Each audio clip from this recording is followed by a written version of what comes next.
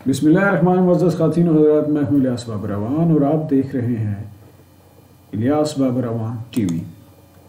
अगर आपने अभी तक मेरा चैनल सब्सक्राइब नहीं किया तो ज़रा करम उसे सब्सक्राइब कीजिए और बेल आइकॉन पर क्लिक कीजिए। आज हम जिस मौजू पर बात करेंगे, वो है उर्दू मकालमा निगारी, जिसे डायलॉग राइटिंग भी कहते हैं। उर्दू मकालमा निगारी बहुत सारे असनाफ सुखन का जुजवेला यनफिक है। और ख़ास तौर पर नावल निगारी, ड्रामा निगारी, और एक अलग से भी एक सिंफ सुखन के तौर पे पढ़ी लिखी जाती है। तो आज हम जिस मुकालमा निगारी पे बात करेंगे, वो एक इम्तहानी नुक़ नज़र से भी, और अगर आप नावल या ड्रामा लिख रहे हैं तो उस लिहाज से भी। कौन कौन सी चीज़ें आपको जहन में रखनी चाहिए और उर्दू मुकालमा निगारी के लिए हमें किन लवाजमात का ख्याल रखना चाहिए तो आइए आगाज़ करते हैं dialogue writing in writing dialogue shows a character speaking it works to tell you more about the character and how they converse with others or react.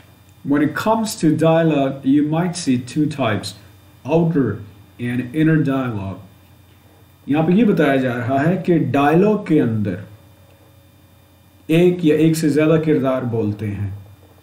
आपस में गुफ्तगु करते हैं। दोनों गुफ्तगु भी कर सकते हैं मतलब वर्बल कम्युनिकेशन भी उनके बीच में हो सकता है। एक बोलता है और दूसरा खामोश भी रह सकता है, वो अपने जेस्टर्स से भी कम्युनिकेट कर सकता है। उसकी जो डिस्क्रिप्शन होगी टेक्स्ट के अंदर या मतन के अंदर, उसको मुकालमा कहेंगे। ज़रूरी नहीं है कि मुकालमा तहरीरी सूरत पे ही हो, लेकिन चूँकि इसे स्टेज के लिए ख़ास तौर पे जब ड्रामे का हिस्सा होता है तो स्टेज के लिए लिखा जाता है। तो जब आप उसको तहरीर करेंगे तो वो बनेगा डायलॉग राइटिंग या मुकालमा निगारी। मुकालमा के लघुई मानी है बाहम या दीगर के साथ गुफ्तगु करना। आपस में बातचीत करना, एक शख्स का दूसरे शख्स के साथ हम कलाम होना। उर्दू अदब की असलाह में मुकालमा एक ऐसी मखसूस नसरी सिनफ सुखन को कहा जाता है, जिसमें चंद अफराद या अशास का तस्वुर करके उनके वसाफ़ अहवाल के मुनासब किरदार और अकवाल उनकी ज़ुबान से अदा करवाए जाते हैं। हर मुकालमा तीन अहम अनासर तरकीबी पर मुश्तमिल होता है। समटाइम्स ऐसे भी होता है कि आपको इम्तहान में कहा जाता है कि एक हॉकी प्लेयर और एक को, कोच के दरमियान एक इस मौजू पर मुकालमा लिखिए अब एक तखयलाती मंजरनामा आप तश्कील करेंगे और तस्वूर करेंगे कि उनके दरमियान में इस किस्म की गुफ्तु होगी। और ज़ाहिर है जितना पुख्ता आपका तजर्बा होगा आप उसको देखेंगे कि जो खिलाड़ी होते हैं या कोचेज़ होते हैं उनकी ज़ुबान किस किस्म की होती है वो आपस में किस तरह गुफ्तु करते हैं। तो एक अच्छा मुकालमा नगार के लिए यह बहुत ज़रूरी है कि आपका मुशाह बहुत गहरा हो। अच्छा जो मुकालमा है उसके तीन अहम अनासर तरकीबी हैं। नंबर एक मौजू, नंबर दो प्लॉट और नंबर तीन किरदार। मौजू, ये मुकालमा निगारी का सबसे पहला मरहला होता है। जब तक कोई मौजू पेश नज़र ना हो, उस वक्त तक आगे की मंजिल की तरफ़ बढ़ना नामुमकिन है। इसलिए मुकालमा निगारी शुरू करने से पहले ज़रूरी है कि कोई मौजू मुतन कर लिया जाए। बाद अजा इसे वाक़ाती और मुकालाती मुकालमाती रूप दिया जाए। मुकालमे के लिए किसी मौजू की कैद नहीं होती। कायनात की छोटी से छोटी और बड़ी से बड़ी चीज़ पर मुकालमा लिखा जा सकता है। बशर्ते कि मुकालमा निगार इसे मुकालमे के रंग में रंगने की सलाहियत रखता हो। इसके लिए यह भी कोई ज़रूरी नहीं है कि इसका कोई पस मंज़र हो, जो पहले से मौजूद हो, या कोई बात की कोई चीज़ या पेश भी कर सकते हैं और उसे आप मुकालमाती तनाजुर में मुकालमाती कालब में ढाल सकते हैं। बल्कि मुकालमा निगार के ज़ोर कलम से फ़र्जी ख्याल और अख्तराई अफकार भी मुकालमे का पैकर इख्तियार कर सकते हैं। अलमुख्तसर मौजू के हवाले से सब कुछ मकाला निगार की क़वत नगारश पर राइटिंग पावर पर मुनहसर होता है। अलबत् हकीकी ज़िंदगी से अहवाल वाक़ात और इंसानी मसाइल को मौजू बनाने से इसकी असर अंगेज़ी भी चार, में चार चाँद लग जाते हैं। कलम कागज़ हाथ में लेने से कबल मौजू के हर पहलू पर गौर व फ़िक्र करने के बाद एक जहनी खाका बना लेना चाहिए। बाद इसे कागज़ पर मुंतकिल करना चाहिए। ज़ाहिर है, हम रैंडम गुफ्तु को नहीं बेहतर समझेंगे कि उसको मकाले का मौजू बनाया जाए। ये नहीं कि वो बन नहीं सकता, लेकिन वो एक इतना इम्प्रेसिव इतना मुतासर कन, वो वो जो इजहारिया वो नहीं बनेगा। ज़ाहिर है कोई भी चीज़ जो परफॉर्म की जाती है या तहरीर की जाती है वो एक ख़ास ऑडियंस के लिए होती है जो जहीन लोग होते हैं जो उस चीज़ के कारी होते हैं या सामीन होते हैं तो वो कोई चीज़ ऐसी नहीं याद रखेंगे जो आमियाना हो। इसीलिए आप बहुत सारे ड्रामास देखते हैं जिनके मकाले बड़े मरूफ हो जाते हैं। जैसे कि पिछले दिनों एक पाकिस्तानी ड्रामा बड़ा मकबूल हुआ। आ, मेरा ख्याल है कि मेरे पास तुम हो कि मेरे साथ तुम हो उस ड्रामे के मकाल में बहुत ज़्यादा डिस्कस किए गए। जो खलील खलीलरहमान कमर हैं, वो इस इस हवाले से मरूफ हैं।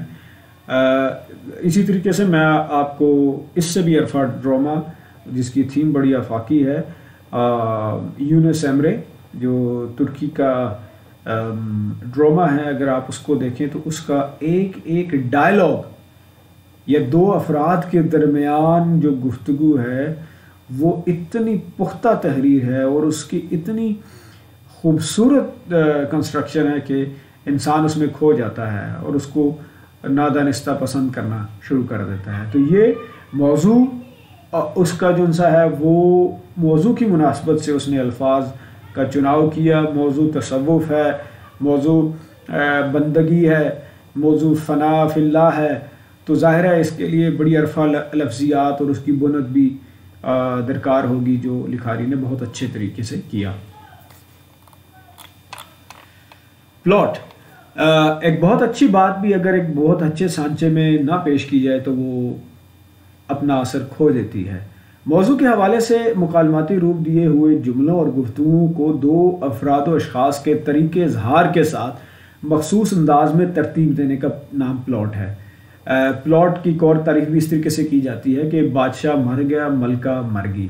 ये तो एक वाक़ हो गया, या वकुआ हो गया और जब आप कहते हैं बादशाह मर गया और मलका दुख से मर गई तो ये प्लॉट हो गया। अब ज़ाहिर है जब दुख को डिस्क्राइब करेंगे तो उसमें बहुत सारी जज्बाती कैफियात आएँगी। उनके लिए मौजू और मुनासिब लफ्ज़ियात का चुनाव होगा, एक कहानी बनाई जाएगी, जिसके बाद ये एक जो एक एक सेंटेंस है, ये एक नावल भी बन सकता है एक ड्रामा भी बन सकता है इस पर कहानी भी लिखी जा सकती है तो प्लॉट एक, इंटेग्रल पार्ट होता है।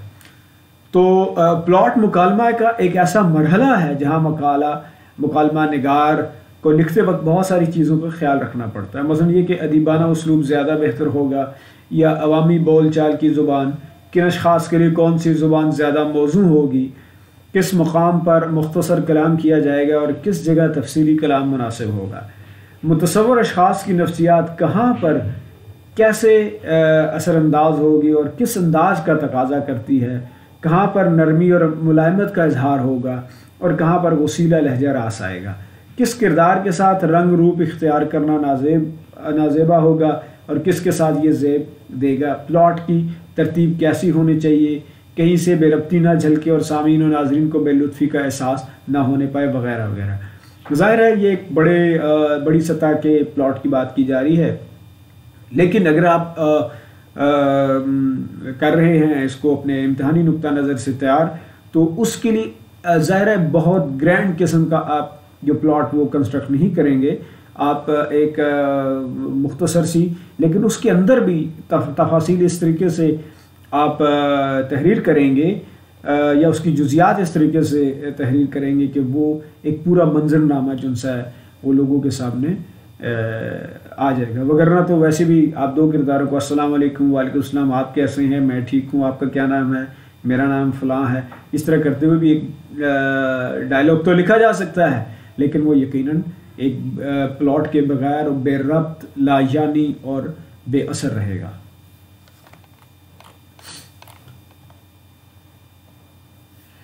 अच्छा मुकालमे के हसन खबह पसंदीदगी और नापसंदीदगी और मैारी और गैर मैारी का दारो मदार इसी प्लॉट की तरतीब पर है। गोया प्लॉट मुकालमे के लिए एक आजमाइश कन खारदार वादी है। अगर इस वादी पर, वादी पुरखार से सही और सालिम गुजर जाए तो गोया वो अपने मकसद में निन्यानवे फ़ीसद कामयाब है। और अगर वो इस मकाम पर लफ्जिश खा जाता है तो वो तकरीबन नाकाम है।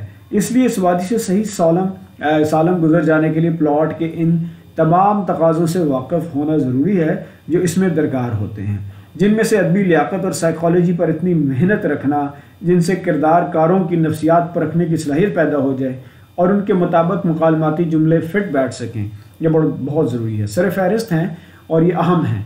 अलावाजी बार बार मुकालमों का मुशाह मताल मुतसवर अशास से तबादला ख्याल और अमूमी मुताल बिलखसूस तारीख़ और जग्राफिया का मुताल नहायत ज़रूरी है। ज़ाहिर है बहुत सारे लोग जो हम में से तख, अदब तख्लीक करते हैं वो किसी भी सिनफ सफ़र में। वो हमसे किस तरीके से मुख्तलिफ़ होते हैं यकीन अपने इसलूब की वजह से। बावजूद है कि जो चीज़ बहुत नुमाया है और बहुत अहम है वो है उनका मुशाहिदा। पिछले दिनों मैं एक इंटरव्यू सुन रहा था हसन निसार का उसने एक बड़ी अच्छी बात की। उसने कहा कि पाकिस्तान में एक असलाह या एक लफ्ज़ बहुत ही ज़्यादा इस्तेमाल किया जाता है और वो बिल्कुल क्लीशे है और वो बहुत गलत इस्तेमाल किया जाता है। वो लफ्ज़ उन्होंने बोला उस टैलेंट। उसने हम कहते हैं पाकिस्तान में बहुत टैलेंट है, बहुत टैलेंट है। टैलेंट से क्या मुराद है? अगर एक क्रिकेटर अच्छा खेलता है तो वो उसकी सलाहियत है, वो उसकी मश्क है या वो उसका टैलेंट है। ये देखना बड़ा ज़रूरी है। टैलेंट से मतलब उसने कहा कि टैलेंट वो है कि जो आप लोगों के सामने आए किसी भी शक्ल में तो वो एक पूरी एक पूरा तारीख का वर्क उलट दे, तारीख का रुख मोड़ दे। जो बड़े बड़े साइंसदान हैं बड़े बड़े थेरिस्ट हैं बड़े बड़े फ़लसफ़ी हैं, शायर हैं, शायरी तो हर बंदा करता है, लेकिन इकबाल तो कोई कोई है। बल्कि इकबाल तो एक ही है, ठीक है? फैज़ तो एक ही है। राशिद तो एक ही है। इस तरीके से किड्स तो एक ही है। वर्ड्सवर्थ और रॉबर्ट फ्रॉस्ट वो तो एक ही हैं। क्यों? क्योंकि उन्होंने एक ऐसी राह मुतन की, एक ऐसा उसलूब मुतन किया या एक एक मुतशक्ल किया, या अख्तरा किया, जिसने बहुत, एक स्कूल ऑफ़ थाट की बुनियाद रखी। लोगों ने उनको कॉपी करने की कोशिश की। तो जब वो कॉपी करता तो ज़ाहिर है उसका जो असल है, वो कहीं पे दब जाता है। तो टैलेंट से मुराद ये है कि आप कोई ऐसी सलाहियत सामने लेके आए जो किसी में ना हो, जो गैर मामूली हो, जो तारीख का धारा मोड़ दे। तो मैं बिल्कुल ऐसे ही कहता हूँ कि जो हमारे यहाँ लिखारी हैं, अगर वो रूटीन के लिखारी हैं, रूटीन के शायर हैं, रूटीन के अदाकार हैं, रूटीन के क्रिकेटर्स हैं, रूटीन के सियासतदान हैं, रूटीन के रहनुमा हैं तो वो एक तारीख के रेले में बहने वाले आम तिनके हैं, जो उसमें शहतीर है। जो दरख्त बनने की जिसमें सलाहियत है, वो खाल खाली होता है। और वो ज़ाहिर है, आप तारीख़ का मुताल करते हैं। आप अपनी उस गैर ममूली सलाहियत को ख़ुद दरियाफ़्त करते हैं और उसको उसकी नशो नुमा करते हैं, उसकी परवरिश करते हैं और फिर अपने चाहने वाले पैदा करते हैं अपनी गैर मामूली मेहनत और सलाहियत से। किरदार। किरदार से मुराद मुतसवर अशास व अफराद का वो अमल और किरदार है या रोल है जिसके लिए उन्हें मुतसवर किया जाता है। ये किरदार ड्रामे में भी होता है। ड्रामे का कारिंदा, कलामी तासुर और सदाकारी के साथ साथ जिस्मानी एक्टिंग भी या अफ़ाल भी करता है और किरदार के मुनासिब रूप भी धारता है। लेकिन मुकालमे का कारिंदा किसी हद तक सदाकारी तो करता है, लेकिन जिस्मानी एक्टिंग बिल्कुल नहीं कर पाता, क्योंकि जिस तरह ड्रामे के लिए कमाल और फ़नी महारत तस्वर किया जाता है इसी तरह ये मकालमे की रूह के मुनाफी और मायूब समझा जाता है। ज़ाहिर है आप कागज़ के ऊपर किरदार से एक्टिंग अगर गैर ज़रूरी तौर पर करवाएँगे भी तो वो आ, दिल को नहीं छुएगी। मसलन एक आदमी है जो चलने में थोड़ा सा लंगड़ाता है। आप उसको कागज़ पे जितनी उसकी तफसील बयान कर सकते हैं उसकी भी एक हद है। लेकिन एक आदमी है जो एक्टर है वो स्टेज के ऊपर जब इस लंगड़ेपन को या इस माजूरी को परफॉर्म करेगा तो हर अदाकार अपने उसलूब से करेगा। और यकीनन कोई एक आधा या दो तीन ऐसे गैर मामूली सलाहितों के अदाकार होंगे जो उसको हमेशा के लिए अमर कर देगा। तो किरदार जो उसके अंदर मौजूद हैं, वो जब रेडियो पे ये मुकालमा होगा तो वो अपनी आवाज़ से उसकी जो सदाकारी है, उस, उसके जौहर से और जो बैकग्राउंड म्यूज़िक होता है, उसके ज़ोर से उसको हमेशा के लिए आवाज़ की लहरों पे सब्त कर देगा। दूसरी तरफ़ ये होगा कि जब आप ये कागज़ पे लिखेंगे तो आप अपने अल्फाज के ज़ोर से, अपने उसलूब निगारश के ज़ोर से उसको कलम बंद करेंगे।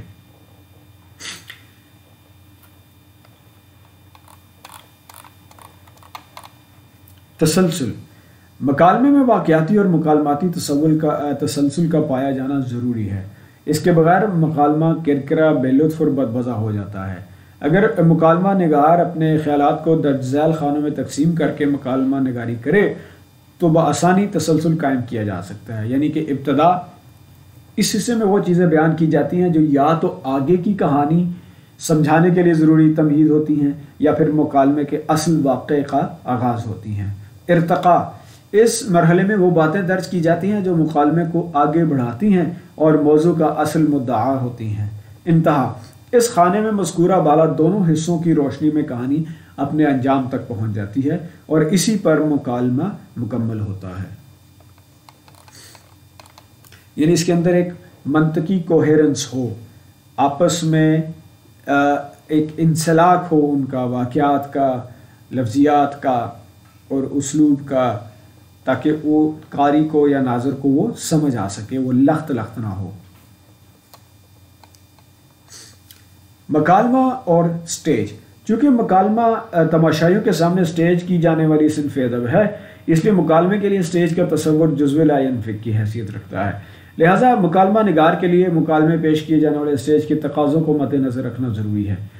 मसल मकालमा रेडियो के स्टेज से पेश किया जाए तो चूँकि इसमें मुशाह नहीं होता, यानी देखने वाली आँख नहीं होती, इसलिए स्टेज के तकाजे के पेश नज़र ही किरदार की अदायगी के लिए सौती, तासर और सदाकारी का सहारा लिया जाता है। या मसल मकालमा बरह रास्त सामीन नाजरीन के रूबरू किसी स्टेज से पेश किया जा रहा है तो वहाँ सदाकारी के साथ साथ थोड़ा बहुत अमली किरदार भी पेश किया जाएगा। अब ड्रामे की तरह मुकालमे के तमाशाई भी सुनने और असलाह का दरस लेने से ज़्यादा देखने में दिलचस्पी का मुजाहरा करने लगे हैं। इसी वजह से मुकालमात से ज़्यादा अमली पेशकश अहमियत इख्तियार करती जा रही है और इस सूरत हाल में मुकालमे को कामयाब बनाने के लिए दो तरीके इख्तियार किए जा सकते हैं। नंबर एक, मुकालमात से ज़्यादा अमल और किरदार का इजाफा किया जाए या मुकालमात को मजाहिया अंदाज में पेश किया जाए। जब ये कागज़ पे आएँगे तो ज़ाहिर है आप एक नाजर के लिए या हाँ कारी के लिए आप एक मुकालमा तहरीर कर रहे हैं। उसके अंदर इस तरीके से अल्फाज को बुना जाए कि वो आदमी अपने तखयल के ज़ोर पर, उस कहानी के अंदर, उस मुकालमे के अंदर कहीं मौजूद हो।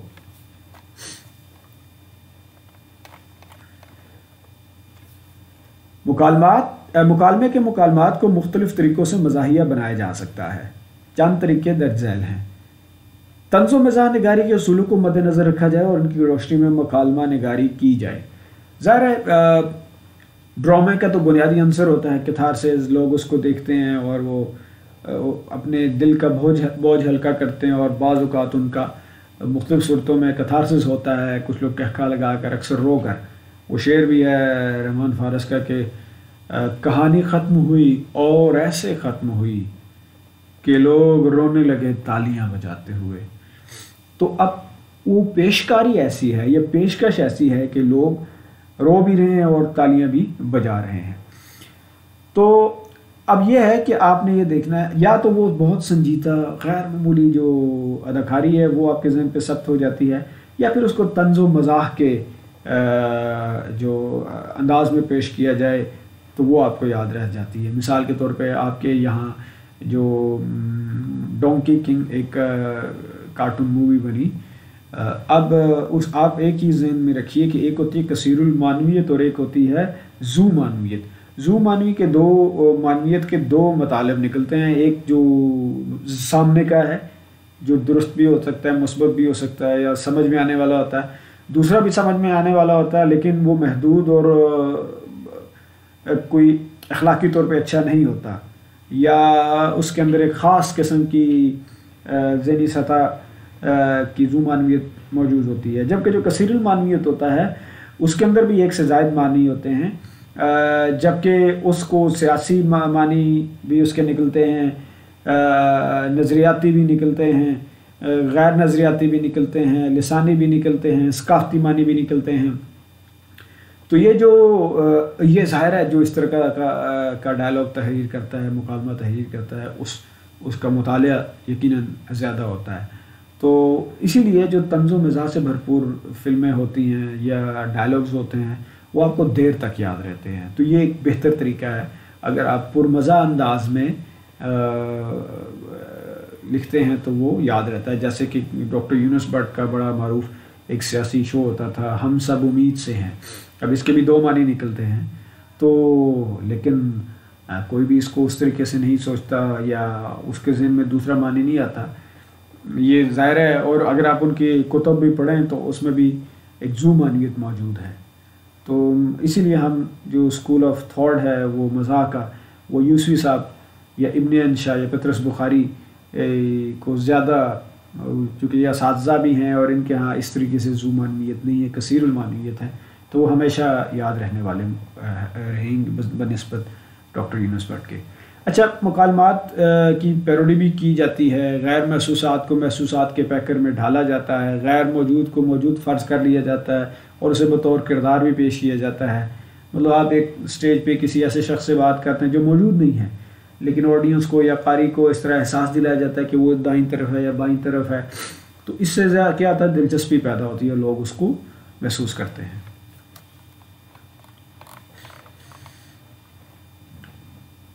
मकालमे के मकालमात को मुख्तलिफ़ तरीक़ों से मजाया बनाया जा सकता है। जैल में दर चंद एक तरीके मौजूद हैं। गैर अहम किरदार को अहम किरदार की शक्ल दे दी जाए।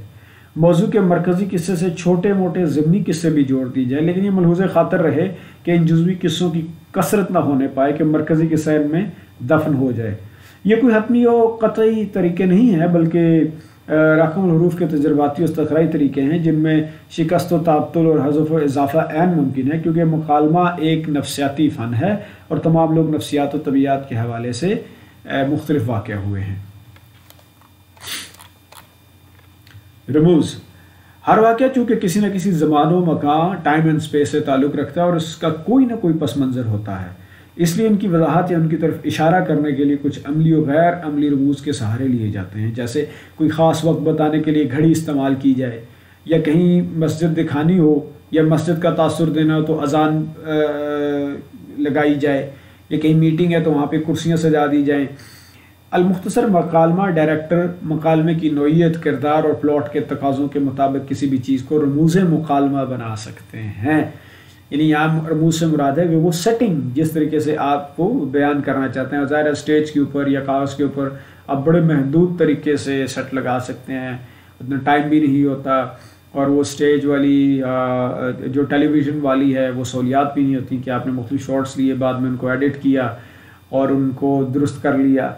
यहाँ पे तो आपके सामने कारी बैठा हुआ है या नाजर बैठा हुआ है, वो या तो उसको रिजेक्ट कर देगा और अगर स्टेज का मामला है तो वहीं पे आपको उसकी दाद या उसके ख़िलाफ़ अपनी कुछ बात का इजहार भी कर सकता है। तो इन रमूज़ की वजाहत लिखते वक्त अंदरून स्टूर ब्रैकेट लगा कर भी की जा सकती है और मश्क के दौरान अमली हिदायत के ज़रिए भी। बहुत सारे ड्रामाज हैं, वो तहरीरी सूरत में मौजूद हैं। सूरज के साथ साथ या family friend doctor Yunus Bhatt के बहुत ज़्यादा मौजूद हैं। तो अगर अगर आप जंगलूस नावल पढ़ें और जंग, जंगलूस जिसको कहते हैं ड्रामाई तश्कील की है उसको पढ़ें तो आपको साफ़ नज़र आएगा कि उसको परफॉर्म करने के लिए स्टेज के ऊपर या टेलीविज़न के ऊपर वो जो ब्रैकेट्स के अंदर लिखा गया था कि ये इस तरीके से तासुर देगा दिन का ये वक्त होगा, इस किस्म का लिबास पहना होगा, ये सारे के सारे रमूज रमूज मुकालमा कहलाते हैं। मश्क, किसी भी इल्म फ़न में महारत और लियाकत पैदा करने और फ़नी चाबक दस्ती बढ़ाने के लिए मश्क ज़रूरी है। इसलिए खा मुकालमा निगारी की जाए या स्टेज करने की तैयारी। दोनों सूरतों में हुस और फ़न अदाकारी पैदा करने के लिए मश्क ज़रूरी है। लिखने की मश्क तो बार बार लिखने से ही हो सकती है। अलावा अजीम बार बार मुशाहदे से भी मश्क हो जाती है। और तैयारी के लिए हदायतकार जो भी सूरत तजवीज़ करे, वो मश्क के लिए मुफीद होगी। अब आप तहरीरी तौर पे अगर कुछ अपने स्कूल, कॉलेज, यूनिवर्सिटी में काम कर रहे हैं तो आपका उस्ताद ये जो आपको पढ़ा रहे हैं मल्लम वो बतौर हदायतकार ही काम करेगा। वो आपको बताएगा कि अपने मुकालमे की नोक पलक किस तरीके से दुरुस्त करें। ये चीज़ इसमें गैर ज़रूरी है, ये चीज़ इसमें होनी चाहिए वगैरह वगैरह।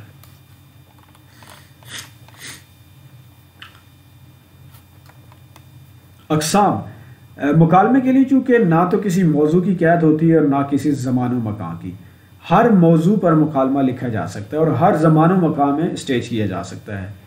इसलिए नए नए अहवाल वाक़ात और मौजूद के अतबार से इसकी दर्जनों किस्में हो सकती हैं, जैसे तालीमी मुकालमा, सियासी मुकालमा, समाजी मुकालमा, तहजीबी और सकाफ़ती मुकालमा असलाही मुकालमा, मजहबी मुकालमा, तारीख़ी मुकालमा, मजाहिया मुकालमा, इल्मी मुकालमा, साइंसी और मुनाजराती मुकालमा वगैरह वगैरह। तो मज़ नाजरीन आज हमने मुकालमा निगारी, उसकी अकसाम, उसकी मुबादियात, उसकी ज़ुबान, उसके रमूज़, उन पर गुफ्तु की। ये एक इब्तदाई गुफ्तु है, ये कोई हतमी गुफ्तु नहीं है, मुख्तलिफ़ सोर्सेज से ये गुफ्तु इकट्ठी की गई। आप इसके ऊपर बहुत अच्छी अच्छी चीज़ें ढूंढ सकते हैं और उसको अप्लाई कर सकते हैं, बहुत अच्छे अच्छे मुकालमे पढ़ सकते हैं। तो कमेंट सेक्शन में अपनी राय और सवाल तहरीर कीजिएगा, और मेरे चैनल को सब्सक्राइब करना ना भूलिएगा। मज़ीद मालूम के लिए इलियास बाबा रवान टी के दीगर वीडियोज़ को भी देखिए। और अगर आप फेसबुक पे मुझसे रबता करना चाहते हैं तो W W W dot Facebook dot com slash Ilyas Babar Rawan पे मुझसे रबता कर सकते हैं। इसके साथ ही इजाज़त चाहेंगे। अल्लाह हाफिज़। पाकिस्तान जिंदाबाद।